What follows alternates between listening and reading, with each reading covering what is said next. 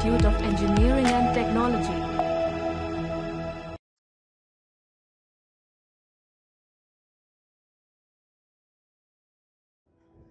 Hello students, after defining optimization for function of two variables, today we are going to discuss about a special case of optimization and this case is constrained optimization for which we are going to discuss a method of Lagrangian multipliers method. So before starting this last part of our partial derivative, let us recall how many terms are required to solve this constrained optimization problem. You need to know what do we mean by tangent plane, what do we mean by normal line, how to draw the surface and how to consider a special input from the domain. So in this talk we are going to discuss about constrained optimization which means now we want to find maxima and minima on the surface but we cannot take any point randomly from the domain which simply means that now we are restricted to a particular domain and then we are finding its maxima or minima relative to the given surface. For example, suppose I ask you to find a location which is at the highest peak on the mountain. Obviously you will say that it will be at the top of the mountain.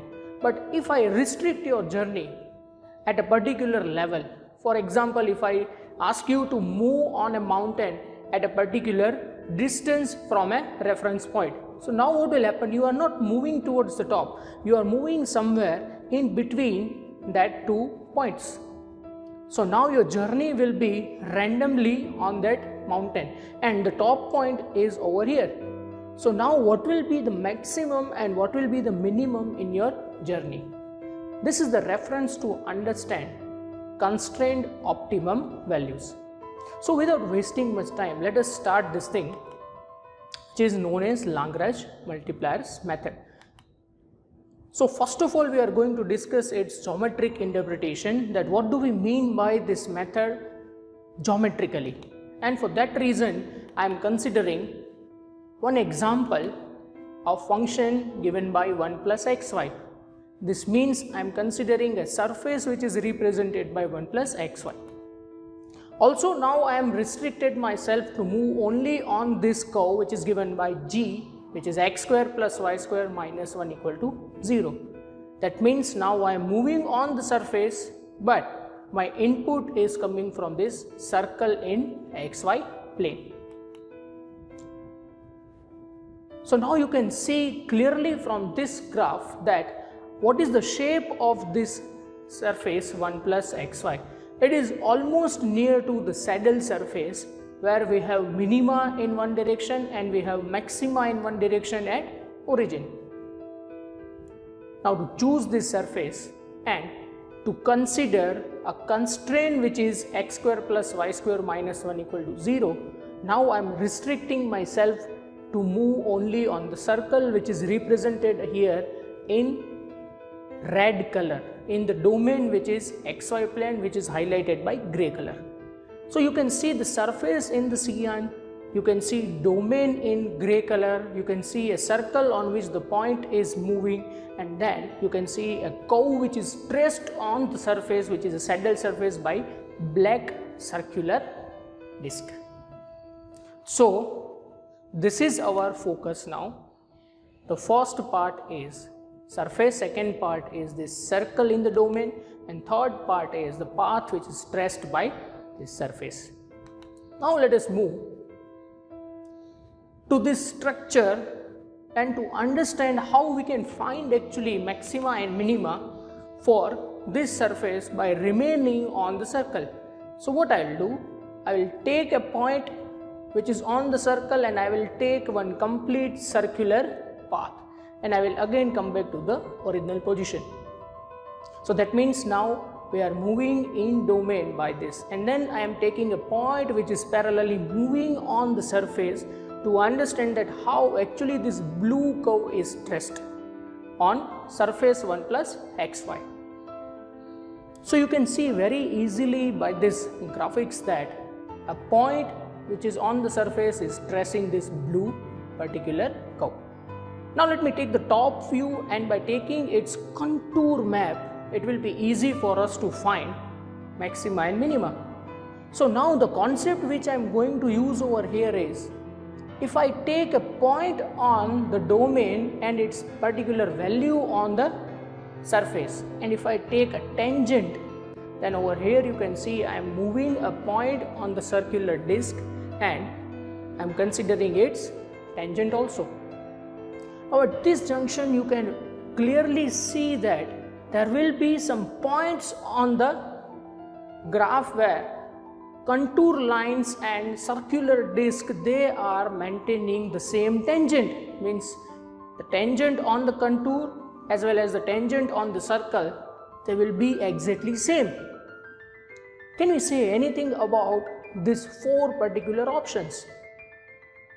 The answer is if you look again the same thing graphically in 3D and if I take a point now I am denoting contour lines by red on the surface you can see clearly at the maximum point whenever point is passing through that location its tangent is almost parallel to that contour line which is red and it is in fact the highest point on our journey by this blue. Here you will see clearly. Now see at this point tangent was parallel to that red line at height 1.5 and at this junction tangent line is parallel to a contour line which is at height 0.5. So graphically now it is very easy to check which contour line is barely touching this particular path on three dimensional surface. At that contour line our function is going to attain maximum or minimum. Now we will not consider a contour line which is crossing or which is touching this surface at multiple points because they are the points which are at the intermediate level. So it is clear from this graphic that if I consider a contour line which is barely touching our curve and then at that point you can say our function can be maximum or minimum.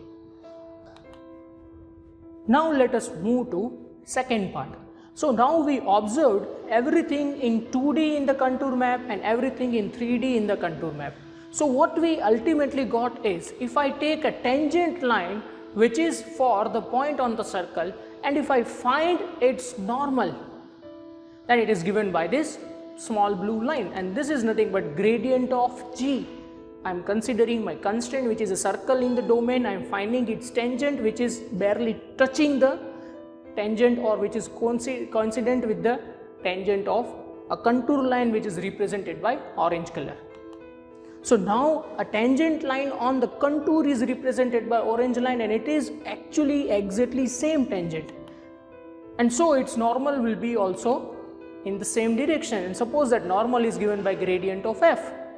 Now what will happen if I take the same structure in 3D it will look exactly like this. This is what I want to mention that if you move your point on the domain and its parallel structure which is happening on the surface at a point where it is touching the contour line, tangents are coincident and so the normals are in the same direction. So focus on this thing only that normals are in the same direction. So now we can define method of Lagrange multipliers. So the method is this, we need to find a value of lambda such that gradient of f is equal to lambda times gradient of g as we know that these two normals are falling on the same direction and then we already have this constraint g equal to 0. So now we will focus throughout the solution on these two conditions and we want to find value of lambda which is nothing but the Lagrange multiplier and we want to optimize the surface. So now let us consider our example 1 plus xy and then constrain x square plus y square equal to 1. So I am taking our first condition gradient of f equal to lambda times gradient of g. So I am on the left hand side I am taking gradient of the function which is nothing but y comma x. I am writing the vector in a point notation whereas on the other side it is lambda times 2x comma 2y. I am taking gradient of function g. Now simplifying this, we'll get two equations. As this equation was a vector equation, I'm considering x coordinate with x coordinate, y coordinate with y coordinate. So it is y equal to lambda times 2x and x equal to lambda times 2y. So combining these two by taking value of x into our first equation, finally we'll receive y as 4 lambda square y, which means that either y is 0 or we can say lambda is plus or minus 1 half. But if we take y equal to 0, our resulting value of x will be 0 and that means it gives you that the point of conclusion is origin which is not in our domain. So we'll ignore that value and we'll focus only on this value of lambda. So this means the value of Lagrange multiplier is plus or minus 1 half.